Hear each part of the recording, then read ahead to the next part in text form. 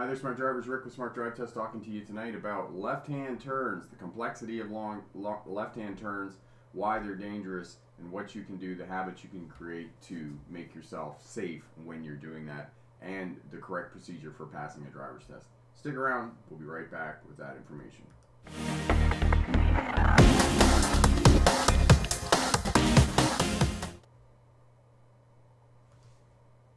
Hi there, smart drivers. Welcome back. Rich is here from Maine. Limitless is here. Hello. Other people are here and tuning in, and we're getting going. I know it's. I apologize for postponing. I was away in on Vancouver Island in Victoria, and doing some work down there, and I got caught up in that. So, moderate to severe drought in Maine. Interesting. So, so we'll get going. Uh, Corey's here. Bricks for Wheels. Corey is the moderator.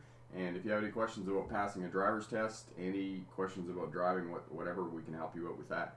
DC's here, Gorilla's here. Hello, hello, hello. So generally the way I do it, I do a bit of a presentation. It's going to be a shorter presentation tonight. And then after that, we'll spend the remainder of time answering questions and going over stuff. And we can definitely help you with getting a driver's license, being a safer driver, and starting a career as a truck or bus driver. And Tim is here from Winnipeg. So we'll get going with the presentation here. Let's give over to that. Katie's here as well. Hello. All right, so tonight talking about left-hand turns, mostly left-hand turns at complex intersections, but you do want to start doing these in residential areas. Uh, that way, excuse me, do these in residential areas so you can get used to scanning you can get used to. I just realized you probably can't hear me because the microphone's way over there. Oh, there we go. So, start your left-hand turns in residential areas. That way you'll get used to the steering wheel. You get used to observing, looking for pedestrians and those types of things. So, those of you new to Smart Drive Test, my name is Rick August. Uh, was a truck driver in the 1990s, became a licensed commercial driving instructor in 1997, and earned my degree, my graduate degree, in 2006 in legal history, which is the study of policing, courts, and prisons. And my expertise is in policing as it relates to traffic. And you can learn more about that over at the Smart Drive Test website. the autobiography over there. So, why are left hand turns complex? Why are they dangerous? Why do they pose such a challenge to new drivers? Uh, first of all, they are dangerous because you're crossing oncoming the path of oncoming traffic. If you misjudge the gap, the vehicle either has to brake or they're going to run into you. Which, if they run into you, then it's a T-bone crash. And we can talk about this in question and answer period a little bit more. But cars are not designed to protect you in a T-bone crash. And the unfortunate part about this is that if you misjudge the gap, you get T-boned in an intersection on a left-hand turn, the person in the passenger seat is usually the one that's going to be fatally hurt. They're usually going to die in the crash, and it's really terrible because it's often a husband and wife who are in the front seat, or your friend, or someone else, and it it just leaves horrible guilt for uh, the person who's driving the vehicle. So you got to judge the gap, and this is not something that is lends itself to teaching uh, online on video. It's something that really you should be working with uh, an experienced driver and going out and doing this, and then they can help you out with the doing that as well. Uh, as I said in the introduction, start in residential areas. This is going to help you with learning uh, the steering wheel, how much you have to move the steering wheel, how what your speed control is going to be like, and helping you to find your landmarks. And when you're turning left, obviously you're looking for pedestrians on the cross street and any other obstructions. You're looking for right-hand turning vehicles as well because no, in terms of right-of-way for left-hand turning vehicles, right-hand turning vehicles have the right-of-way over left turning vehicles. All right. So shoulder checking, observing, you're going to shoulder check for every turn when you're turning left, when you're turning right. Uh, anytime that you move the vehicle sideways, whether you're moving the vehicle forward or in reverse. So when in doubt, uh, always shoulder check and always when you're turning the steering wheel, you're always going to be shoulder checking in the direction that you're moving the vehicle. All right. So when you're waiting at a left-hand turn and you're looking to prepare to do that, you're going to put the front steer tires on the front crosswalk line. As I say to students, this uh, you're committed to the intersection, but you're not in the intersection if it goes wrong. I know there's other schools of thinking, and you're working with driving instructors and other personnel and those types of things, and they're going to say, "Oh no, move right up into the intersection." Uh, don't move up into the intersection, okay? You don't want to be in that intersection, and when then when the gap uh, presents itself, then you move forward into the intersection to meet that gap, and that way you've got a bit of speed, and you can quickly move through the intersection and out of the path of oncoming traffic. All right. So going on red, going on yellow, especially at complex intersections, this is a reality. This is something that you're going to have to do. The you're going to be sitting there, you're going to be waiting. The light's going to go to yellow. As soon as the light goes to yellow, move forward into the intersection. Check, double check, triple check that the traffic, the oncoming traffic, is actually in fact coming to a stop, and then expediently make your left hand turn. And as well know that you own the intersection. If you're in that intersection you own it. You have to make that turn. But you can't lollygag there. If you lollygag especially on a driver's test you're not going to pass uh, be successful on doing that and they're going to say you were in a on a red light. All right? So when you're making left-hand turns, especially when you're coming out at a T intersection, watch the right-hand turning traffic because they may put their signal on, they may forget. So don't pull out on a left-hand turn until that right turning traffic commits to the right-hand turn because you may pull out and they've decided, oh, I'm not going to make my right-hand turn, and then they drive into the side of you. So know that and be looking for the right-hand turning vehicles as well. So remember, pick the best answer, not necessarily the not necessarily the right answer. There we go. All right, so back over here. Tim is here, my friend Tim.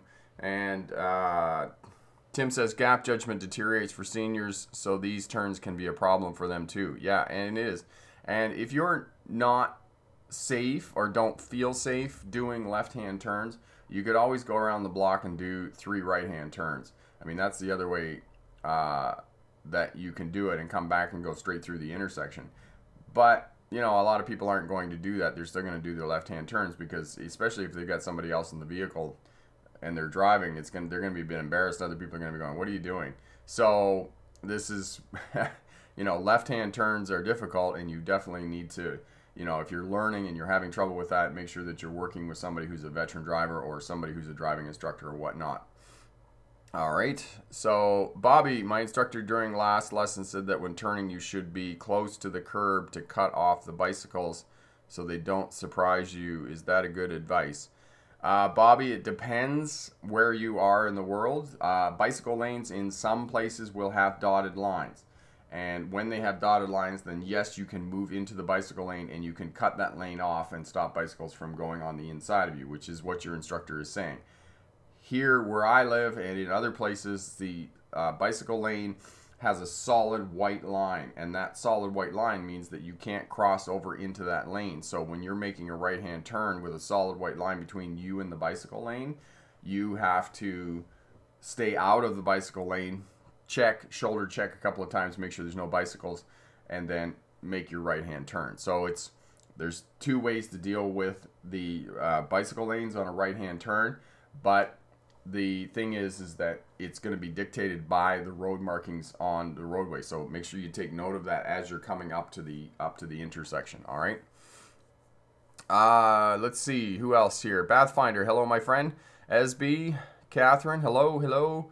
How to turn left at an intersection so step-by-step instructions. Corey's put that video up. Thanks for that corey. Kiana uh, 10 how far do pedestrians have to be on the crosswalk before turning?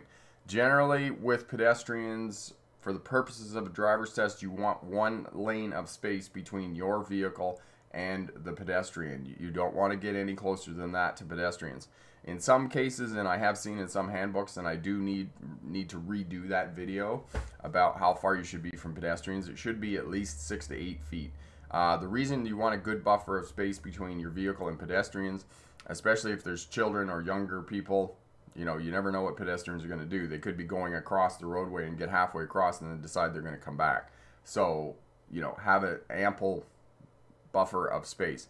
And what I'll do is I'll look that up because I've seen that. I'm pretty sure it was the Oregon handbook about they had specific distances about how far you should be from pedestrians. And I'll post that on the community tab for you.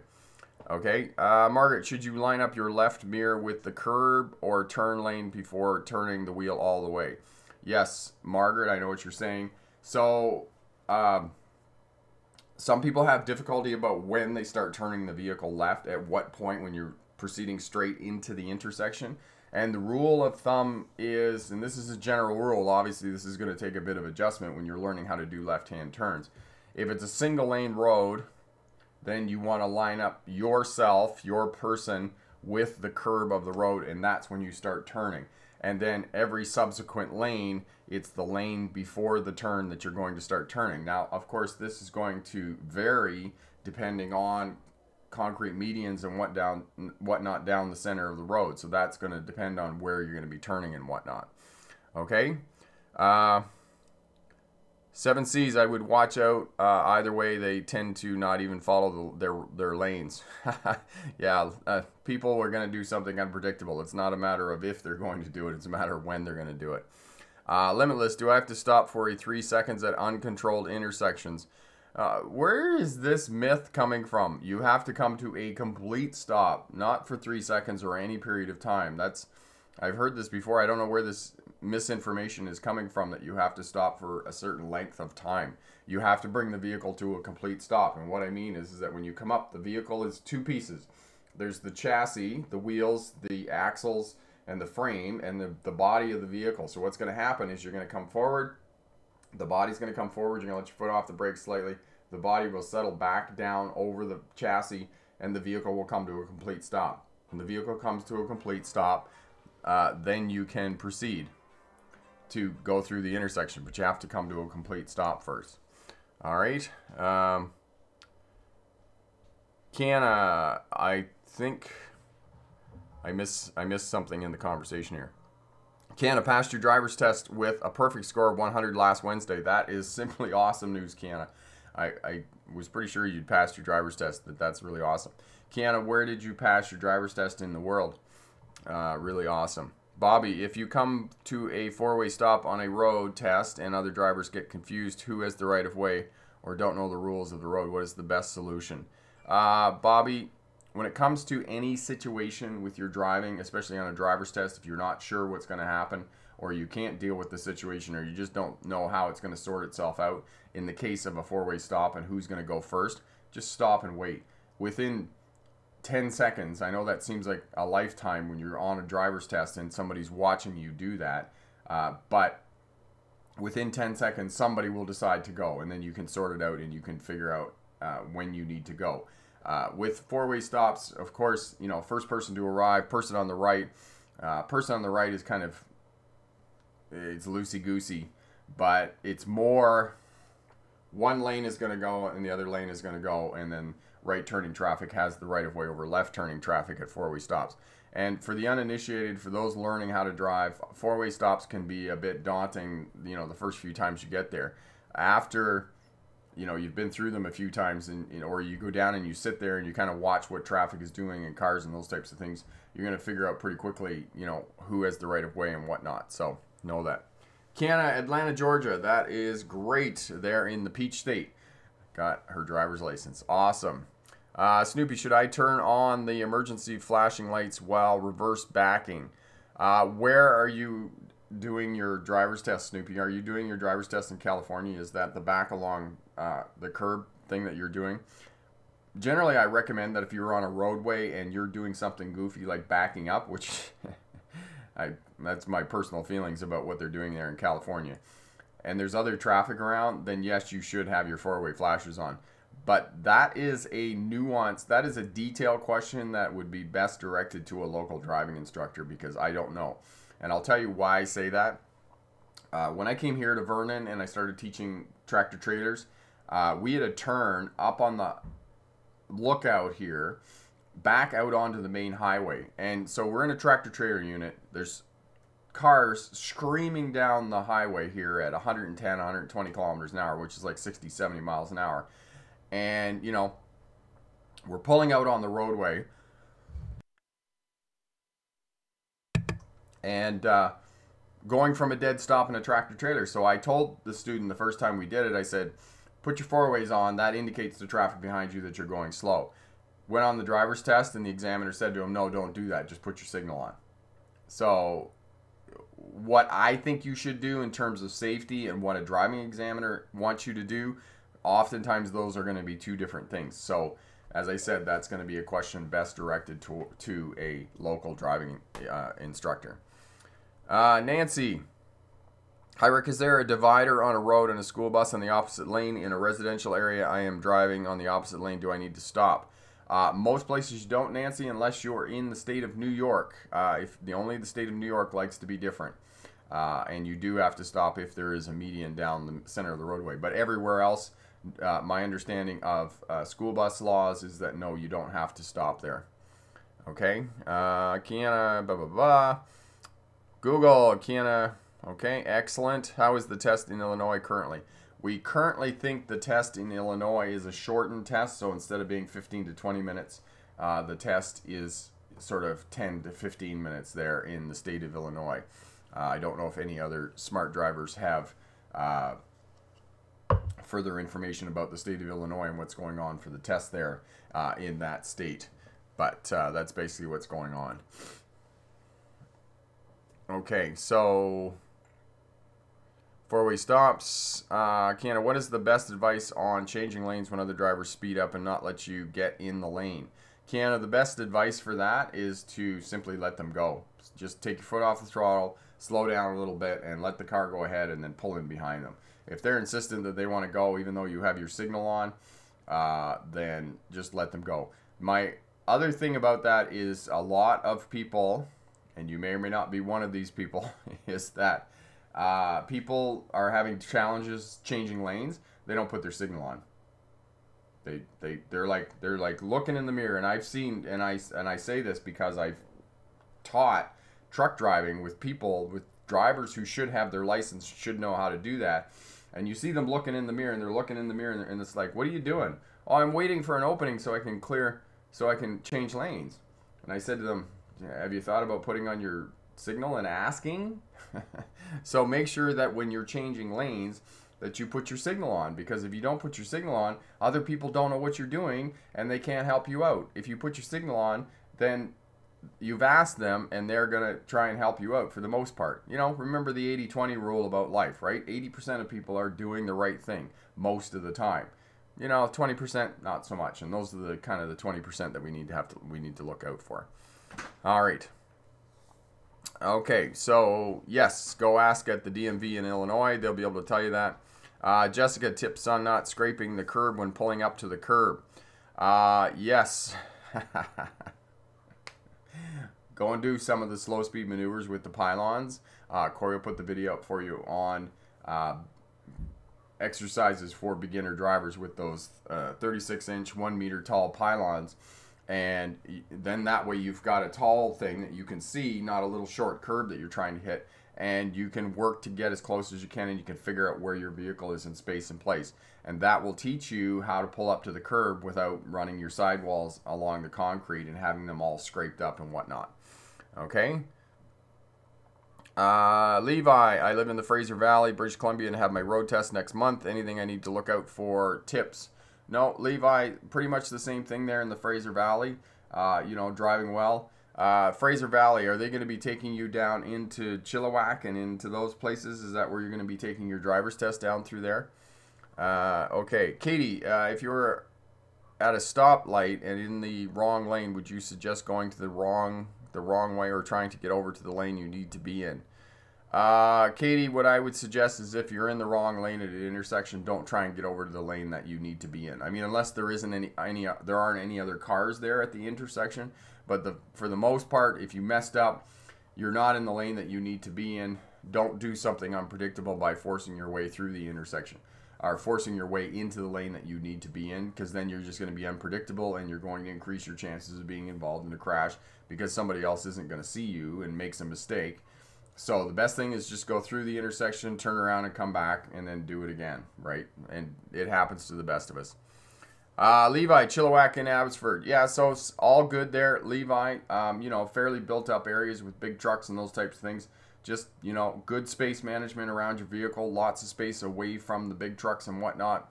Uh, definitely, you're going to have to know how to hill park, so know how to do that, look that up and whatnot.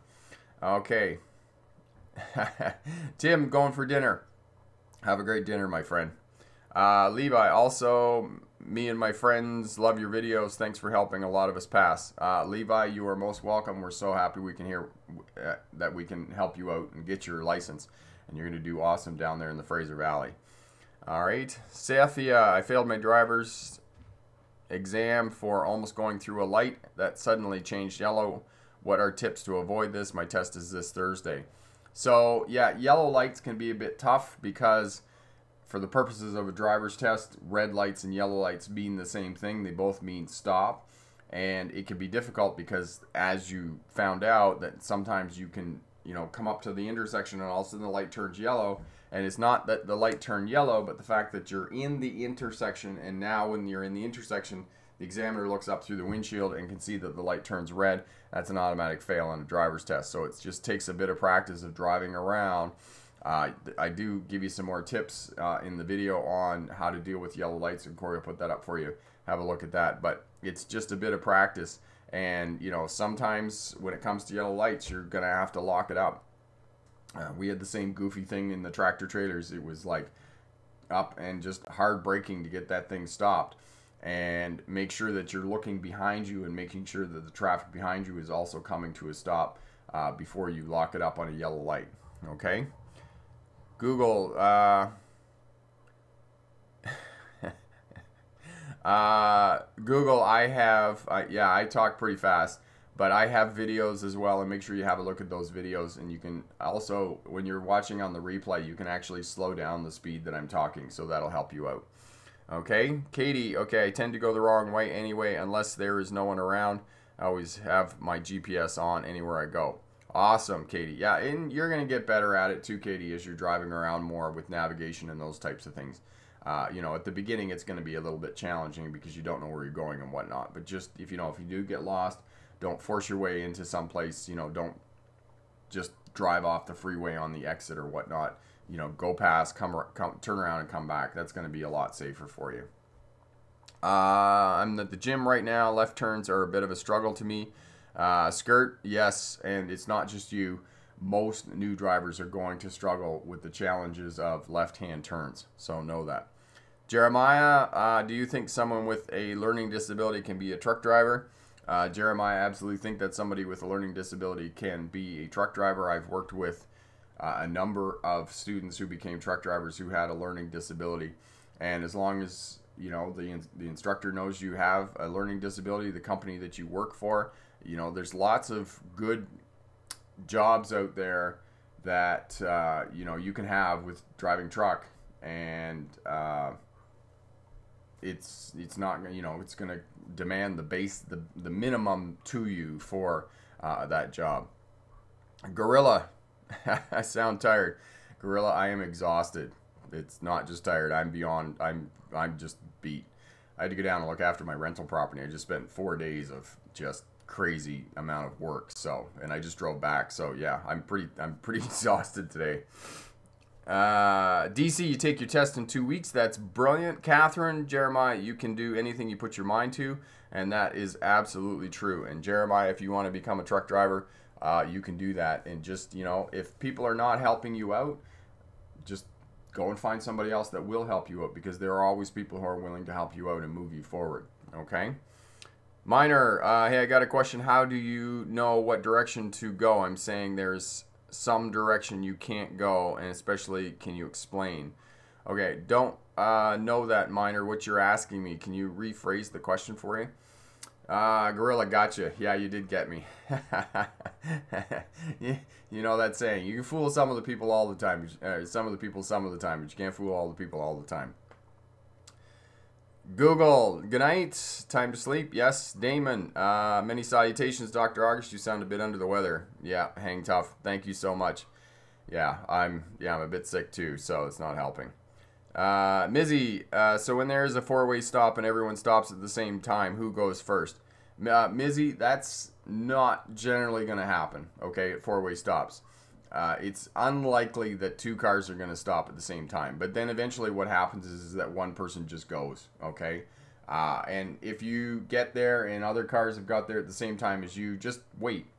Wait like 10 seconds and one of the other vehicles will go, and then it'll start to move through the four-way stop. The other thing that I recommend for new drivers, because I know that four-way stops are a bit crazy, uh, just go down and sit at the corner for 20 minutes and watch the traffic move through the intersection and take note of, uh, you know, right turns, left turns, how they're moving through. But generally, excuse me, what happens at four-way stops is, is that one lane of traffic goes and then the other lane goes and then the other lane goes. But then again, you've got turning vehicles, left turning vehicles, and right turning vehicles, and then you get throw pedestrians in the mix, and then it gets a little more crazy. So that's why I always recommend to new drivers who are dealing with four-way stops to just go down and have a quick, uh, you know, spend a bit of time there and just watch traffic move through it. Uh, Katie, I'm nervous uh, taking the driving exam because I have a fear of the state police. Uh, they don't actually, Katie. Uh, I know in Kentucky, Kentucky is one of the states that has state police who administer the tests, and you're I, you're in Arkansas, right? Uh, they don't actually wear the uniforms when they're administering driver's tests there, do they? 10. I'm aiming to take my test here in Edmonton by the end of the month. Need to work on the left turns and avoiding potholes. yes. We have a video on that too, on how to avoid potholes. All right. Hurricane, uh, what do you think of unprotected left turns where the driver enters the intersections and wait for oncoming traffic to clear? Hurricane on any left-hand turn for any driver, I do not counsel them to move into the intersection. Always with the front steer tires on the front crosswalk line, and that way when the gap begins, to, when you see the gap coming that you're going to turn into, then you move into the intersection to meet the gap. That way you've got a bit of speed and you can move through the intersection faster and you're in harm's way for a less period of time. Okay. So yeah, you're okay. So Katie, yes, you're in Arkansas. So both Arkansas and the state of Kentucky both have the state police administering the driver's test, which is interesting there. And uh, as I do they do they wear their uniforms? Because that would that would seem a bit weird with a police officer sitting beside you testing your driving. I would be intimidated too, Katie. So you know, don't that's not weird. Okay, Christian, uh, minor, don't go against traffic if you are not sure. Stay on the right lanes. Yeah, absolutely. Uh, Mizzy, what do you get into teaching? What made you get into teaching drivers? What made me get into teaching drivers? Uh, I was an over-the-road truck driver, and I wanted to. I was trying to figure out how to get off the road, and you know, then I did the big path of going to university and getting a graduate degree and whatnot, and uh, started the YouTube channel and came back to teaching people how to drive, and it's been very successful and very fulfilling. So it's been it's been great. That's kind of the short version. Uh, Kiana, thank you for your videos. They helped me on my test because I was so nervous and scared to death, but I believed I could do it, and I did. Thank you. Yes, and that's awesome, Kiana. We're so glad that we could help out and be part of your success. And all the best. If you have any questions about driving after you get your license, uh, drop back and we'll definitely help you out. Okay. Uh, Damon, I tried to ask Pin Binning whether the police in the UK would challenge me if I executed an opportunity left turn on red in the absence of pedestrians and cross motor traffic. Don't know what that means. Uh, Katie, I don't know. I know that the examiner for the learner's exam were extremely rude toward me taking the exam on a computer. Uh, yeah, I just, I don't get that. Why staff are belligerent. I don't. I mean, life is too short, and to be that upset about life, I don't get it. Truly blessed, I know the basics of driving. Should I pay for driving school? Uh, blessed, if you have a good mentor to work with and teach you to drive, uh, then I'm not saying no, that you shouldn't get professional driving lessons. Uh, I always do recommend that if you are not going to take driving instruction lessons, then you uh, spend some time and uh, get a practice driving test with a local driving instructor. That way, you know, it's going to pay great dividends due to the fact that they're going to give you feedback. They're going to take you on the test route and they're going to tell you what skills and abilities need to be strengthened for you to be successful on your driver's test. Okay? Uh, Hurricane, is it illegal to make a right turn but swerve back into the the right lane. You mean like doing a button hook where you make a right turn, you weave out, and then come back in? That's compl- that's com- that's not even da- illegal. It's dangerous. Don't deviate out of your lane when you you know left lane to left lane, right lane to right lane. That's what's going to keep you safe on the roadways. But people do it all the time, unfortunately. Uh, you know, and it just makes it dangerous at intersections. And keep in mind as well, more than 40% of traffic crashes happen at intersections. Okay, so you do you you want to be as predictable as possible at intersections. You don't want to be doing goofy things, uh, deviating in and out of lanes and those types of things. It just makes you unpredictable. Okay, uh, blessed. It costs a lot of money. Yes, driving instruction is not cheap. It's it's it's dear. It's expensive, and uh, but you know it's well worth the money. But like I said, if you you know there's a lot of information out now on the internet and if you have a good mentor, somebody that can work with you, and you can simply do the things that you need to do to pass your driver's test, then I would recommend that you do that. See how it's going, you know, after a week or so, maybe, and then maybe see how you're feeling at that juncture, and then revisit whether you're going to get uh, driving lessons or whatnot. Okay. Uh, I don't. You don't have anybody, but I will practice as I go driving. Okay. Uh, hurricane, a lady did that in front of me and then honked at me when I went by her. Yeah, okay. Especially if there, it tends to be a trait of older drivers, hurricane, that they will do a right hand turn, they'll swing out, and then they'll come back in. And I don't know wh- why that is. Uh, and, you know, I've worked with older drivers who've done that. Uh, maybe they just spent two years, you know, too many years driving their big Ford F350 and they feel that they need a lot more space than what they actually do to get the vehicle around the corner. So, yeah. Uh, Christian, I get why some examiners are like that to see if you can drive under pressure. Uh, yeah, we Christian, we don't need to know whether students could drive under pressure. They're already under enormous amounts of pressure on a driver's test. Uh, you don't need the added layer of driving examiners being buttheads. Uh, students are already under enormous amounts of pressure just by the very fact that they're being tested. You don't need somebody who's snipping at you and griping at you and being belligerent and whatnot. You know, I just my personal thing is, is I don't, I just that's not the way life should be. Katie, what's the percentage of getting into a fender bender in a parking lot? Uh, Katie, that's pretty high.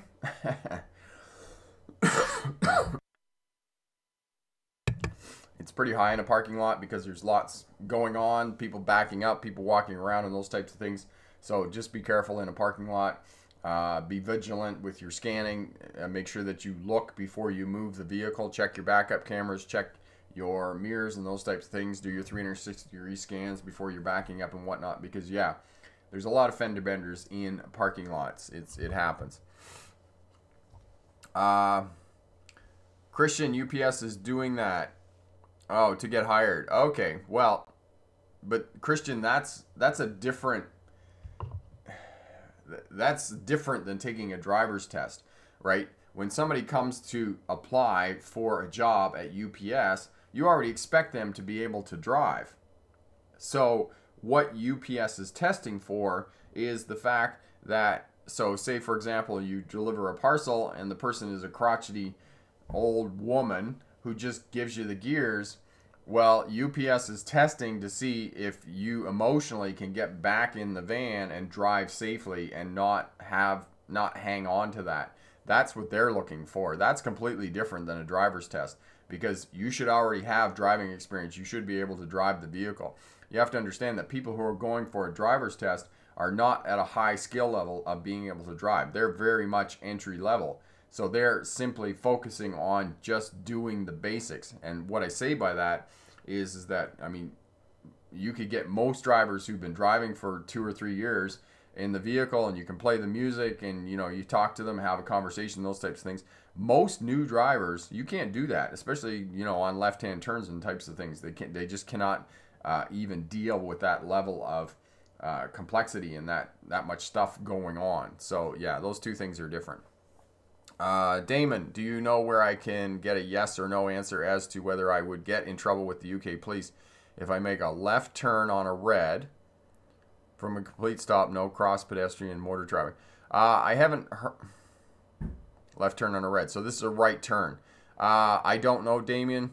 uh, what I would do, what I would suggest Damon is to go on one of the uh, UK driving uh, channels. Conquer is one of them. There's a couple more. Uh, you can go on one of those channels and you could ask them that answer. As far as I know, you can make a left turn on a right on a red light. Uh, I know you can in Australia. I don't know for sure about the UK, but there's always places that you can't. Uh, but like I said, go on the English channels, the UK channels, the driving channels, and they'll be able to answer that question for you. Okay, Margaret, uh, try some ginger and cayenne pepper tea for that cough. I hope you feel better. Thank you so much, Margaret.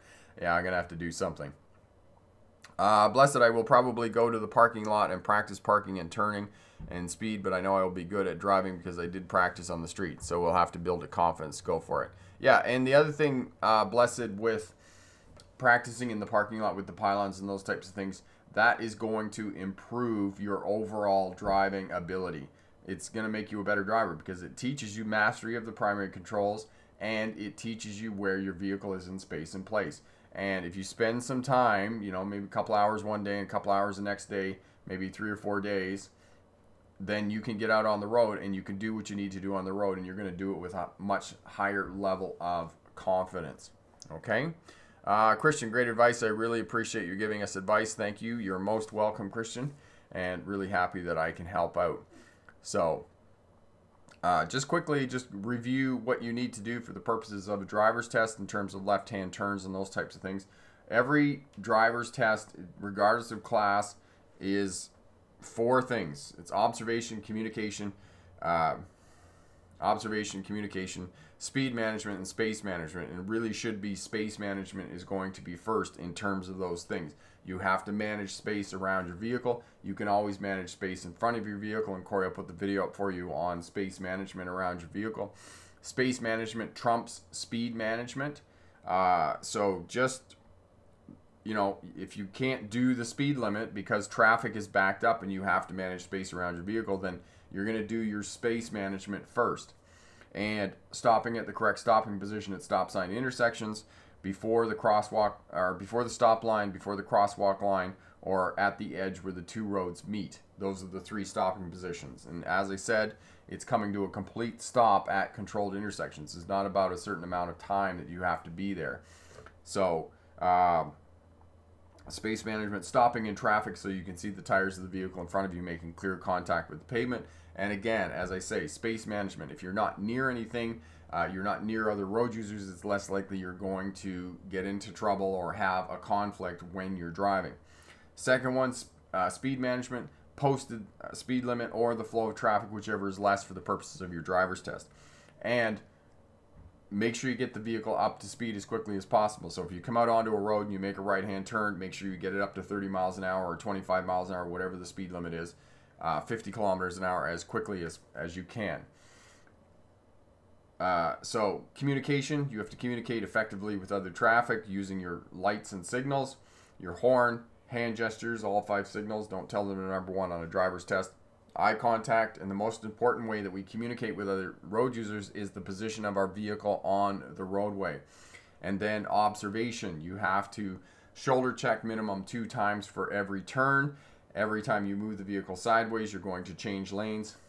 You have to shoulder check. So it's simple 90 degrees to the left or to the right, whichever way you're moving the vehicle.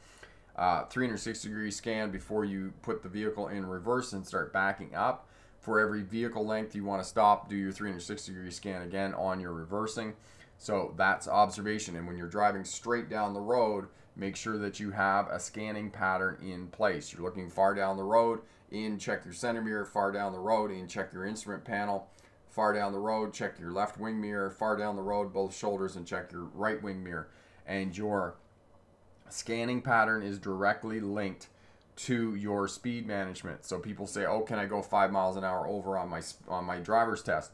You can, but for a very short period of time because you should be checking your instrument panel every 8 to 12 seconds while you're driving. So your speed is always going to be adjusted while you're driving because it's directly linked to your scanning pattern. Justin, uh, do you lose points on the driving test if you don't back up with your hand on the passenger seat? I'm taking my test in Ottawa. Okay, so it's just easier, Justin, to put your hand on the back of the seat when you're backing up because you're going to put one hand on the steering wheel. Uh, it's really tough to get around to look out the rear window uh, if you don't put your hand on the back of the seat. And sometimes you're going to actually have to lift up and turn your hips so you can look out the back window. If you do have a backup camera, you can have a look at it, but it's not your primary line of sight. For reversing, you have to look out the back window, and it's really tough to do that if you've got both hands on the steering wheel while you're trying to reverse. It's just it's it's not really practical. Gabrielle, space management over speed management, good reminder. Excellent. Uh, Damon, I have found it a lot easier to keep the vehicle track in a straight line if I hold them at 7 and 5 than at 9 and 3. Okay. Anonymous, 7 and 5 seems an odd way to hold the wheel. yeah, I would agree. Uh, but at one and the same time, 8 and 4 is new, the kind, now the kind of advocated position of holding the steering wheel because of airbags, right? That your airbag, your arms don't get tied up in an airbag if it does, in the, you know, in the unlikely event that it does deploy. Uh, Damon, staying back so that the drive wheels of the vehicle in front of me helps a lot when I'm both moving and, and stationary. I call that pacing the drive wheels. Yeah, and it's, you know, Damon, it's just such a great thing, especially when you're in traffic. Uh, and if you're in slow traffic and you keep that space all the time and your attention wanes, then you're not going to be up into you're not going to you know it reduces the chances of you rear-ending the vehicle in front of you. Catherine uh, well the examiner asked if we know how to change a battery or a tire? Can we lose points if we don't know how? Uh, catherine and no they're not going to ask you any of that catherine. Uh, and corey will put up the video for you. Anybody who's going for a driver's test uh, make sure that you do a pre-trip inspection on your vehicle make sure all the stuff is working uh, actually, Corey, if you go over to the Smart Drive Test website, you can put up the, just find the page on that, and uh, they can get the checklist over there. Uh, because you know my vehicle right now has a has a tail light out, and if you show up with a tail light out, it's not so much during the day, but if you have a brake light out, they're not going to take you out on a driver's test because the vehicle is deemed unsafe. Okay. Uh, Monica, do they ask you to turn on the windshield wipers and lights? Uh, Monica, they do. So the mini pre-trip inspection that the examiner does when he or she comes out of the building and looks at your vehicle, they get you to turn on the headlights. They're looking for the license plate on the front of the vehicle. They're making sure that the tags are valid. They're making sure that the windshield and there isn't any damage on the vehicle. If it is raining, they will ask you to turn on the windshield wipers. They'll go around to the back. They'll get you to do both turn signals and the brake lights. Uh, make sure that the license plate is affixed to the rear. Uh, they'll get you to bang the horn, make sure that the horn is working, and of course they want to get in the vehicle. They want to make sure that the footwells aren't full of fast food wrappers and the seatbelt works and the door works and those types of things. So make sure that you do a pre-trip inspection on your vehicle before you show up for your driver's test. As well, if you're going with a driving school, same thing. Ask the driving instructor whether he or she did a pre-trip inspection on the vehicle before you show up for your driver's test. You don't want to be denied your driver's test because you had a brake light out that's just so demoralizing. It's just like you get there, you're all pumped, you're jacked to do your test, and then the examiner comes out and walks around the back and is like, "Oh, you got a brake light out. I'm sorry, we can't take you out. You'll have to reschedule."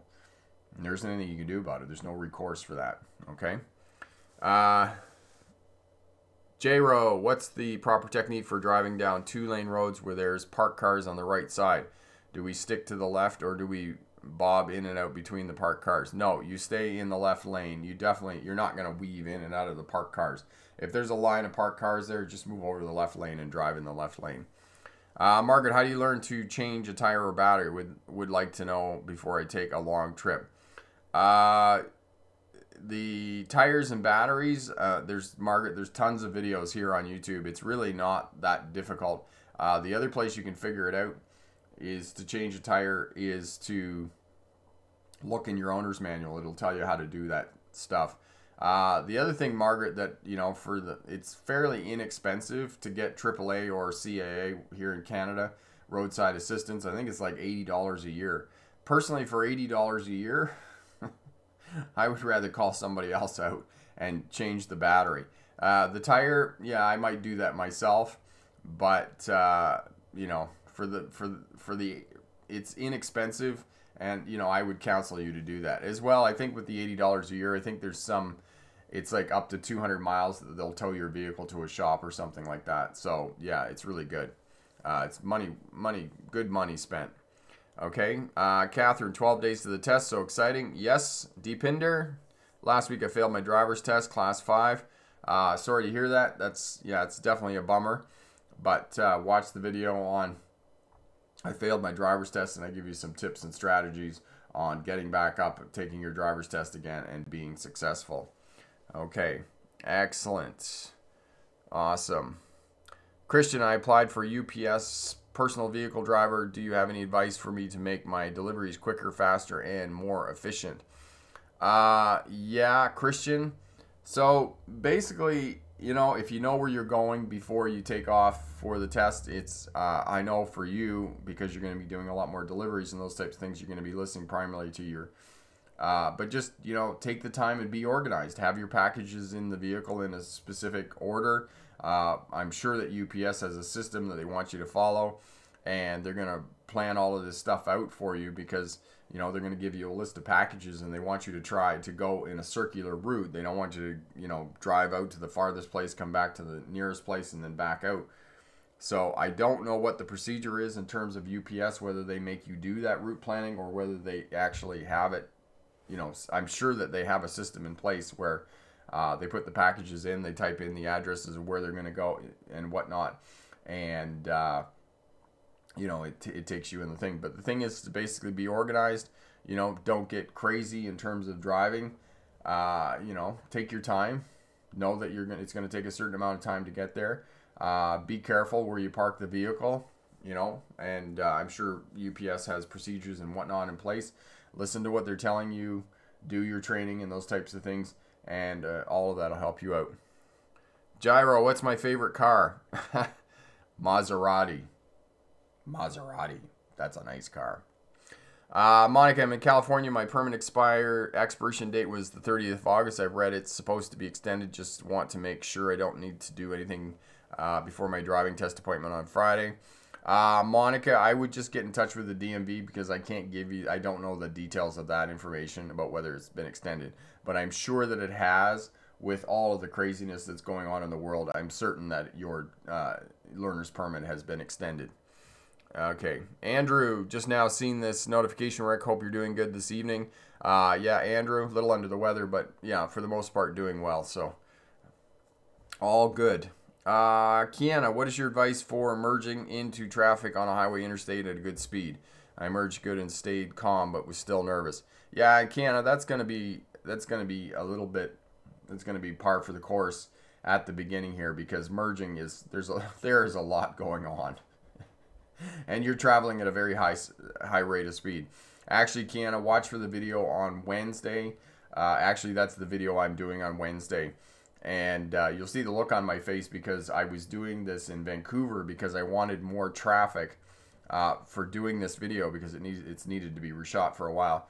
And I come out of the rest area on the first merge that I did, and it was a really short acceleration lane. And I kind of come out and I'm like, oh look, and I'm like, yeah, I need to get this going here really quickly. So yeah, just take your time, get your foot into it, and match the the flow of traffic and get out onto the highway. Uh, uh, thanks for your help. I passed my class one test on the 29th of September. Thanks again. That is so awesome, Gur. Uh, do you have a, a CDL job lined up? Or are you going to work driving truck? Uh, Andrew, I found out that my driver's test will be closed circuit. I made a trip to Findlay, Ohio this past Sunday, so I know where I'm going.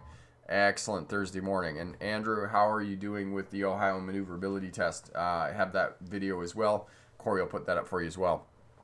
Depinder uh, examiner gave me feedback that I have to improve before gap and C1 speed maintenance. Okay, so you got to do some work with speed control and uh, improving space management around your vehicle and looking for the gap when you're turning and those types of things.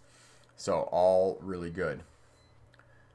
Okay, so yeah, so basically, you know, get all of that in place. And the other thing, Depinder, uh, that I would suggest is, is that before you go for your next test, book a practice driving test with a local driving instructor, and he or she will take you out and be able to give you feedback on you know, if you're ready, if there's any skills or abilities that you need to improve, uh, they can give you some information about the details of what the, the test is going to be and whatnot. But it's money that's really well uh, invested in a great return on in, in there. So I would counsel you to do that. All right.